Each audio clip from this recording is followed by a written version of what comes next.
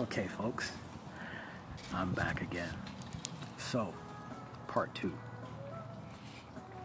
Um, excuse me. So, in 2014, um, I was, well, I was diagnosed in 2012 with multiple sclerosis. In 2014, um, 2013, I was uh, introduced to an uh, MS group in my backyard where I live, and um, I started doing that once a month, the second Saturday of every month. Uh, I started that in 2013, the summer of 2013, thanks to my mother. And um, by 2014, uh, I would say the end of the summer, beginning of fall, I had this crazy dream. But for me to explain that dream, I have to go back to when I was a baby, four years old, five. And one of the first scary dreams that I can ever remember, it always stayed with me because this was a recurring dream that I've had in, throughout my life um, growing up, consistently having it. And it would be with me in my home in Brooklyn, downstairs. Uh, we had a two story apartment, five bedrooms, two bathrooms, and a storage room. Big place, right? and um, anyhow, I was about four or five years old and the first time I had this dream, I'm coming out of my bedroom to go upstairs. And I probably reached the first, maybe the one, two, maybe three steps. Um, and we had stairs going up, and there was a landing, and then we had another stair, flight of stairs going up, and you'll be at the top. So as I made it to the the first, second, third step, I can see we had my father um, put some mirrors on the landing part of the wall. And you know the old school mirrors with the little branches, gold branches on it. And um, so anyway, long story short, I see a reflection of a shadow, what I deemed to be a shadow, maybe a spirit, but I didn't know how to explain it back then in my my young mind. And I saw these eyes, and it wasn't eyes like what you see here. It was more like seeing a car in fog, its headlights, it was just like a glow. And I saw that and I immediately, because I've never seen anything like that before in my life, and I got, I was petrified. So I turned around where my back is now facing the mirror and I look up, directly up. And this figure is looking down at me, and all I can feel is I'm scared one, but I feel hatred, I feel evil, I feel it's a feeling that I'm getting. It's like a chill in my bones, and I'm just frightened, frozen, didn't know what to do, and then I wake up. Oh, I was pissed scared. Um, but I kept having that dream, and that dream then got influenced by pop culture, you know, Dracula, Boogeyman, Aliens, whatever it was that I was afraid of, Freddy Krueger. Um, all those things, it's that image started taking place, but that dream kept recurring over and over throughout my life, throughout my teenage years, and my early 20s. So finally, I moved to California, and then, of course, 2012, I get diagnosed with multiple sclerosis, and I choose a healthy route. You know the story. If you don't, you can look at some of my earlier videos. 2013. I joined the MS group 2014. I have this dream. so the re, uh, the recurring dream comes back, but not quite the same. And I didn't realize it was the recurring dream because what happened was I was on the opposite end. Instead of being the kid at the bottom, I was the one up on top. So, how that dream began was that I walked through the door, came into the apartment, and I went straight into our kitchen. Walked to the kitchen. I don't know what I got. I can't remember that part of the dream, but I know I came back and I noticed that the the front door was open. So I immediately immediately go in to go lock it, the top lock, bottom lock. We actually had three locks on it. So I locked all three. Like, yo, what the hell? Did somebody come in? The first thing I do is go straight to the closet, make sure nobody's trying to hide out in there and try to sneak up on me. And then from the closet, you know, I turned around and that's where you have the, the, the, flight of stairs going downstairs, and you have the landing, and then you have the second flight of stairs. So I'm at the top of the stairs, and I see through the mirror, I see this little shadow, spirit, with these eyes, and I'm looking down, and I'm like cussing up a storm. I'm like, get the fuck out of here. You don't belong in this. Get out of here before I kill you. And I'm doing all this. Now, mind you, I'm scared as shit. I don't know what it is. It's a spirit. But it was small in stature. It was not big. It was really small. And I didn't know what it was. I didn't. I just knew I was afraid. And like any dog that's afraid, they will bark, bark, bark, make a whole lot of noise, and they're afraid. And I was afraid. So as I was cussing up a storm, saying, I'll kill you, get the fuck out of here, my wife wakes me and she was like, Yo, you talking in your sleep? Yo, what happened? Like, you were cussing up saying you're gonna kill somebody, whatever. I was like, I just wish I was shook. And never mind, I grabbed my phone and I went to the restroom. And I'm just, I'm like, trying to remember the dream, so I'm typing it into my phone. And then um, I call my brother and I tell him about the dream. And as I'm telling him about the dream, I come to the realization like, yo, wait a second. That I was that that dream's very familiar, but it was on the other. Yo, wait a second. The first scary dream I ever had was me looking up from the bottom stairs and seeing a shadow and being frightened like I was scared for my life. And here I am now on the other side of that. And I'm scared as hell, but I'm being vulgar. I'm gonna kill you, get the fuck out of here. And I was like, yo, what if what what what, what if that was me? Am I what if that what if that wasn't me? And I felt a certain kind of way because that resonated with me. It put chills in my spine. It was like, whoa. So, long story short, I told my brother the next time I have that dream, I'm gonna have a conversation with myself. And I told my wife, if you ever hear me talking in my dream again, let me go through the motions. Don't wake me. A week goes by, no dream. F- following week comes around. I'm pretty much forgetting about it because life happens. No dream. The third week comes around. Oh, I forgot about the dream and I forgot about what I said. But I have a dream. And it's not the recurring dream, it's a new dream.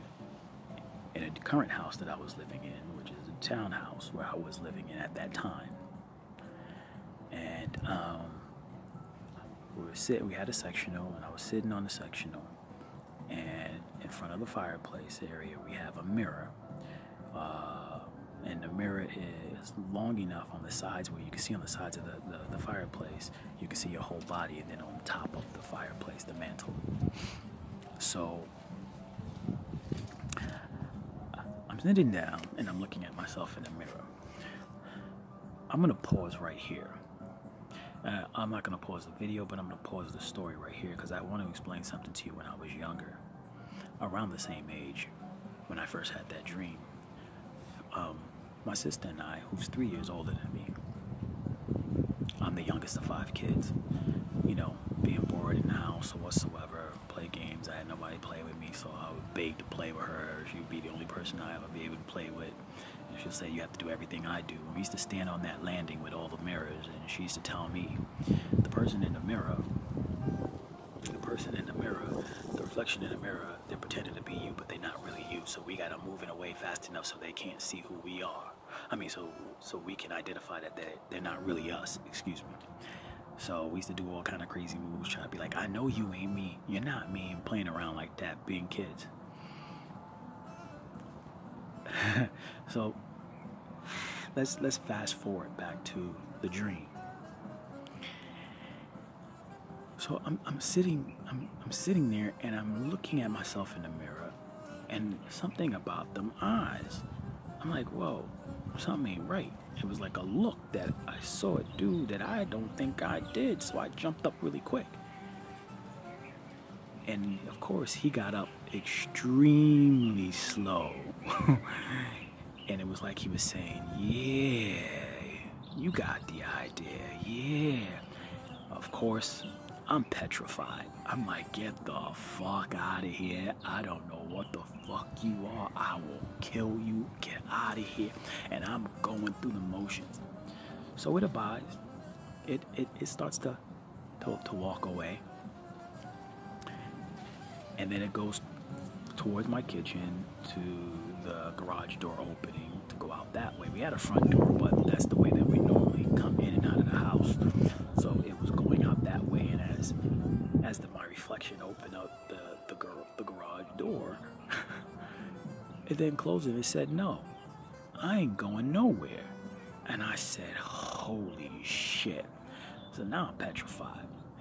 And now this description is quite clear. It's like pretty specific. I was in front of the kitchen counter that separated the kitchen from the dining room. And on that kitchen counter, there were tomato paste cans, small little cans of tomato, like small, small, small little cans of tomato paste. And um, I picked up two of them and I tried throwing it at him.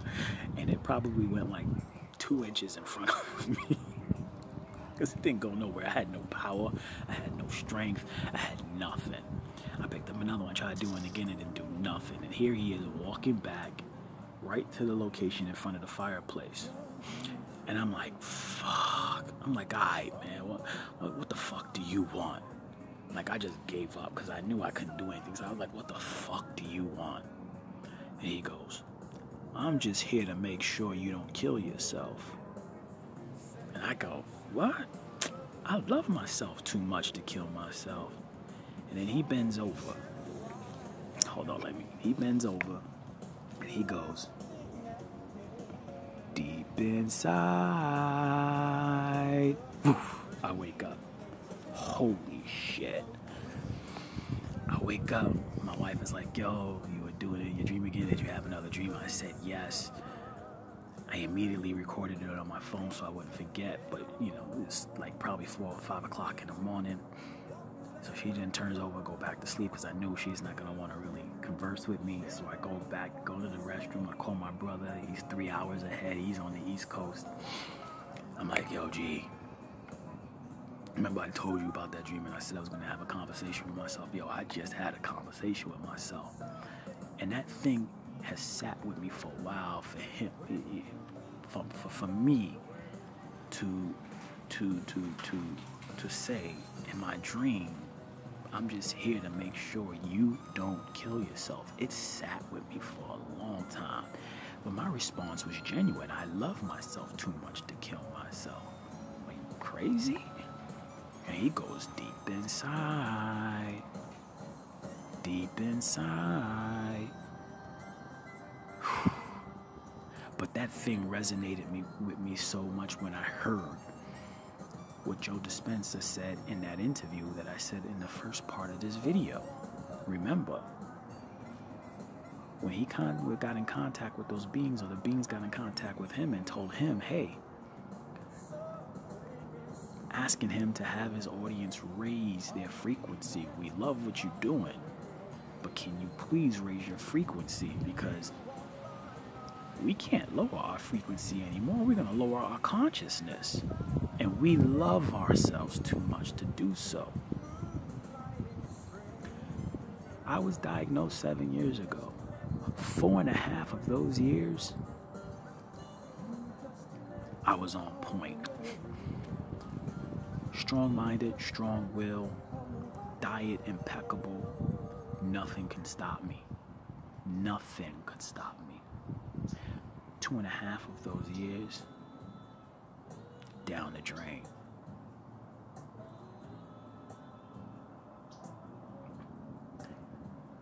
And I mentioned it in one of my earlier videos. I'm not going to go into much detail about that right now, but two and a half of those years down the drain. This year alone, I have relapsed twice. Twice. Not a good look. So, when he said that, I knew what it meant because it haunted me for a long time. Like, am I gonna get that bad that I'm gonna end up wanting to kill myself? Even with this last relapse where I couldn't walk, I couldn't feel my my lower lower extremities. My it was starting to rise up to my back and my upper torso, my left hand. I my didn't have I, the fine motor skills, and then over to my right hand. Even in that hour of desperation of wanting to even take medication and taking the steroids,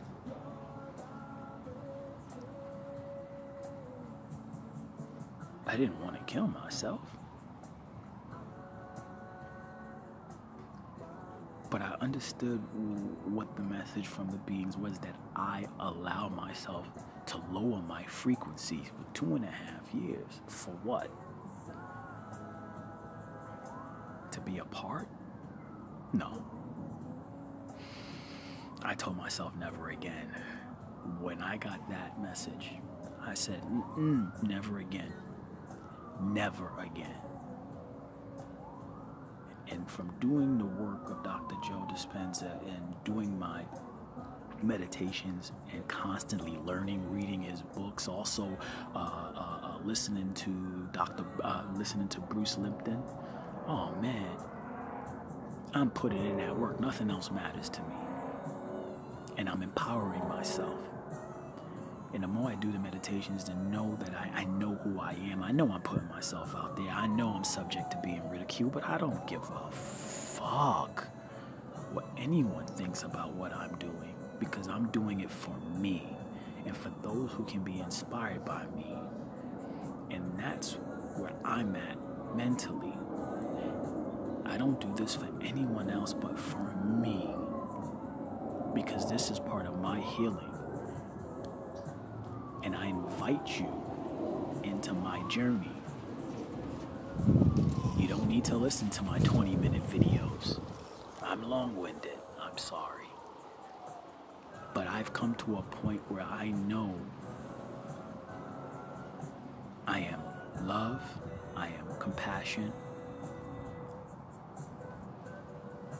I am full, I am whole, I am powerful, like I said in my dream. I am a healer. I am a teacher. I am. And I can only get to that point now because I know I am. I'm all of the above. I am. Dot, dot, dot. I am. And I send that message for all of those who feel like they've reached up, or they feel that they're limited or can't go beyond what they see that's in front of them. Forget about what you see, that's an illusion. You have the power to change yourself, your well being. Just don't limit yourself, otherwise, you limit your blessings. So, when I say that today's topic is about wholeness, that's what I meant. And I've been connecting the dots to my life ever since I've been on this journey and I know I am. And I know people will know my name and know who I am. And this is not for fame. This is not because I'm looking for attention. No. This is a new day and age. Dr. Joe Dispenza says it, we're superhuman. You just need to believe in the power of yourself. Period. And I believe in the power of me. I believed it seven years ago when I was diagnosed, and I believe it today. Trust. So if you like these videos, I can't believe I'm actually saying this, but if you like these videos, uh, please subscribe to my channel. Because I'm just going to keep being as real and transparent for all to see into, into my world, my life. And um, blessings. Peace and blessings. Thank you.